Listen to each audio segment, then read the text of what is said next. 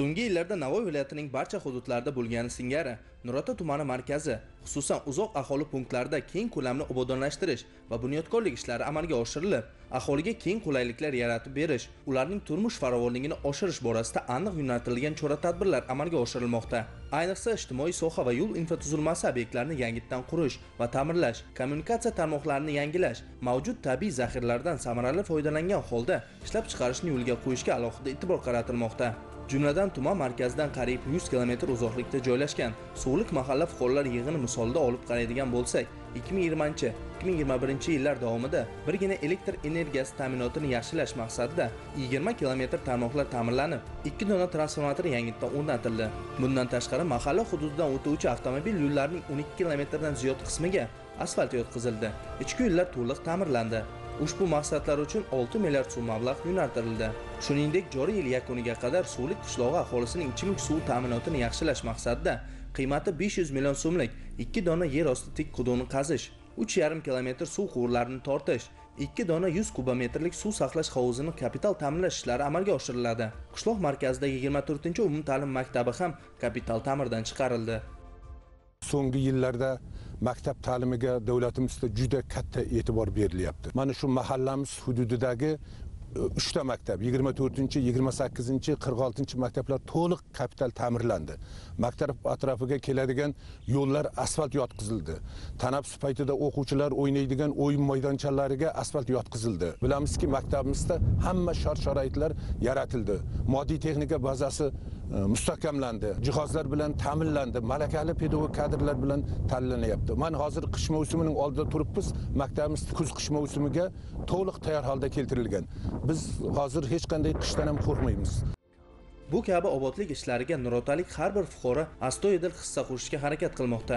Bu esa yurtdoshlarimiz hamjihatligi va yurt obodligi uchun daxldorlik tuyg'usi bilan yashayotgani ifodasidir. Zero obodlik bo'lgan joyda fayzu baraka bo'lishini ular yaxshi biladilar. Obod mahalla obod ko'cha va obod xonadon tamoyili asosidagi bunday ishlarga suvliq mahallasida ham guvoh bo'lishimiz mumkin.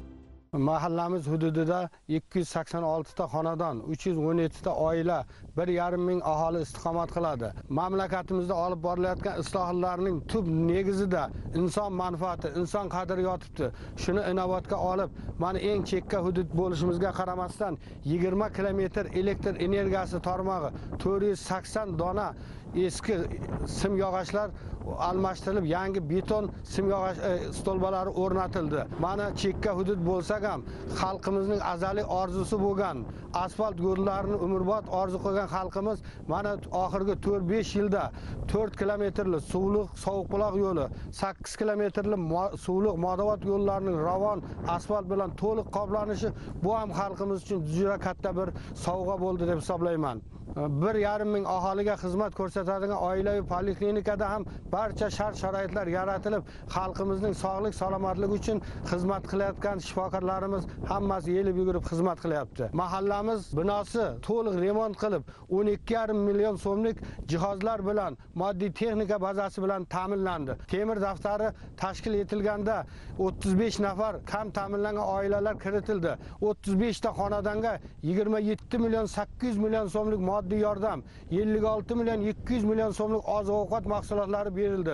Shunday og'ir sharoitda bu narsalarni xalqimizga yordam berilishi xalqimizning kayfiyatini ruhiyatini ko'tarib bunday bola qazolarni yengib etishda xalqimizga katta kuch quvvat bo'ldi. Ayollar daftarini birinchi bosqichi 20 yilning oktyabr oyida boshlangan bo'lsa 26 nafar e, toifalar bo'yicha ayollarimiz bu daftarga kiritilib shundan 3 nafar ayolga 52 million so'mlik imtiyozli kredit har xil sohalar bo'yicha tadbirkorlik uchun ajratib berildi. Tog'li hududda yashaganimiz uchun har bir xonadonda o'ziga yarasha chorva mollari qoramollari qo'ylari mavjud. Bularni ham boqish chorvaga yo'naltirish uchun bir odam band bo'lishi kerak. Shuning uchun oiladagi ayollarimiz yigitlarimiz o'zini o'zi band qilib ish bilan ta'minlandi. Bu ham bir katta yutuq xalqimizning. Istiqlol yillarida mazkur hudud butunlay yangi qiyofa kasb etib obod va ko'rkam manzulu makonga aylangan. Bunda albatta hududdagi kichik biznes va tadbirkorlik subyektlarining o'rni ham muhim ahamiyat kasb etmoqda. Xususan 2020 yilda granit industry technology mas'uliyati cheklangan jamiyati tomonidan umumiy qiymati 3,5 milliard so'm bo'lgan granit xarsanglarini qazib olish loyihasini amalga oshirilishi hisobiga 25 ta yangi ish o'rinlari yaratildi. Joriy yilda esa edifice mas'uliyati cheklangan jamiyati qo'shma korxonasi tomonidan 200 ming aqsh dollari miqdoridagi xorijiy investitsiya kiritilishi evaziga shunday loyihaning ishga tushirilishi natijasida 15 kishi doimiy ish o'rniga ega bo'ldi. Ikki yil bo'lyapti bizda xarsang granit toshlar bo'yicha geologlar razvedka ishlarini olib bordi. Hozirgi kunda xitoy davlatidan hindiston davlatidan kelib qozib olish ishlarini boshlab yubordi. Bunga bizni bekorchi yoshlarimizdan ham ellik oltmish kishi e, ishli bo'ldi. Bundan biz juda minnatdormiz. Kelajakda bu yerlardan katta sexlar zavodlar qurilsa odamlar ishli bo'ladi. Shunday olisda yashasak ham biz davlatimizdan rahbarlarimizdan rozimiz shunday osoyishta yurtda yashayotganimizdan hamma narsa yetarli. Xalqimiz obod. Yaxshi yashayapti. El yurtga xudo bergan.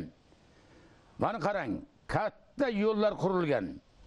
Eng kichikroq kichroq qishloqlar bo'lsada asbatlar. Men juda respublika bo'yicha aylanganman. Boshqa joylarda bunaqangi chiroyli asbatlar bunaqangi joylar kamdan kam. Ha, mana shunday xalqimiz rozi. Hamma narsa yetarli. To'klarni stolbalarni almashtirdi. Xalqimizga kundan kunga yaxshi sharoit kelyapti. Gazlar vaqtida yetkazilyapti. To'klar biron marotaba o'chgani yo'q. Biz har bir oilada suhbatda bo'lganimizda onalar otalar hammasi davlatimizdan rozi. Yurtimizda oltin ko'z hukm surmoqda. Havo harorati biroz pasayib kunlar soviy boshladi. Ostonada esa qish fasli. Yozning jaziramasida qishning qahratoniga tayyorgarlik ko'rish azaliy odatlarimizga aylangan. Shu sababli joriy yilda ham so'liq mahalla fuqarolar yig'ini aholisining 2021-2022 yilgi kuz qish mavsumida ko'mir yoqilg'isiga va suyultirilgan gazga bo'lgan talab va ehtiyojlarni qondirish maqsadida ko'mir va suyultirilgan gaz ballonlari tarqatildi. Bizni qishloqda mana shu qish mavsumiga mana shu ko'mir gazlarimiz o'z vaqtida yetib turibdi. Biz oilada besh kishi yashaymiz. Saksonga kirgan otam bor bolalarim bilan. Sharoitlar yaxshi.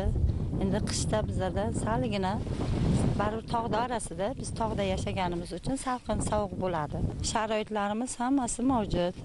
Hamma narsa yetarli aytish kerak mahalladagi 324 nafar iste'molchi muntazam ravishda suyultirilgan gaz bilan ta'minlanadi. Nurota tuman gaz gaz ta'minoti bo'limi tomonidan mahalla ahliga joriy yilning o'tgan 9 oyi davomida 15720 kg suyultirilgan gaz yetkazib berilgan. Suyultirilgan gaz ta'minotining avtomatlashtirilgan tizimi mazkur mahallaga ham joriy etilgan bo'lib iste'molchilar gaz uchun to'lovlarni naqd pulda emas maxsus karta orqali amalga oshirish imkoniyatiga ega. Biz doim suyultirilgan gaz bo'limi bilan o'z vaqtida ta'minlab turadi. Ovqat pishirishda choy qaynatishda boshqa narsalar pishirishda biz hech qachon qiynalmaymiz. Gazchilarga ham rahmat. Har doim bizni uyimizga keltirib beradi. Oldin biz gazchining uyiga borib ancha manzildan olib kelaydi hozir qishloqma qishloq yurib gazchilar har ki- uyiga darvozama darvoza borib uyda tarqatib beradi. Biz bundan xursandmiz. Gaz balonni tarqatishda mana bunaqa bizga plastik kartochkalar berdi. Bunga pul to'shab tashlab qo'ygan ekanmiz. Shu keyin har kelgan paytda o'zlari pul bermaymiz o'shandan o'zlari pul yechib olib qolar ekan kuz qish ushbu hudud iste'molchilari uchun ham sinovli pallar. Shu bois sovuq kunlarda ta'minot o'z vaqtida amalga oshirilishi uchun soha xodimlari tomonidan barcha zarur choralar ko'rilgan. Xususan gaz ballonlarini tashiydigan transport vositalari joriy ko'rikdan o'tkazilib xavfsizligi ta'minlangan.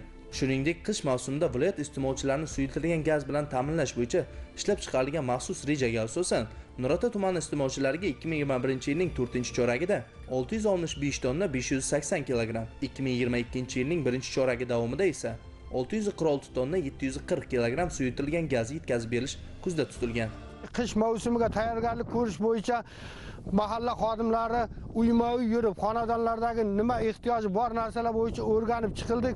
Bizni mahallamizda hamma qish mavsumini soz va betalovat o'tkazish uchun barcha shart sharoit yaratilgan. Chunki suyultirilgan gaz ballonlari grafik asosida o'z vaqtida kelib turibdi. Elektr energiyasida uzilishlar umuman yo'q hisobi. Aholining kunlik ehtiyoji bo'lgan arzon narxdagi un har oyda o'z vaqtida kelib turibdi. Barcha shart sharoit mavjud. Bizning xalqimiz qishdan sovuqdan qo'rqadigan xalq emas. Biz tog'da yashaymiz chunki bu tog'ning havosi toza. Xalqimiz ham shundan faxrlanib yashaydi. Insonparvarlik xalqimizning qon tomirigacha singib ketgan obodlik esa har bir ko'ngilda mujassam zero tinchlik osoyishtalik bo'lgan joyda rivojlanish bo'ladi. Odamlar bunyodkorlik yaxshilik qilish istagi bilan yashaydilar. Bu jihatlar ayni kunda joylarda qilinayotgan xayrli amallar va obodlik ishlarida yorqin namoyon bo'lmoqda. Timur boybekov bahodir shodiyev o'zbekiston 24 telekanali uchun navoiydan tayyorlandi.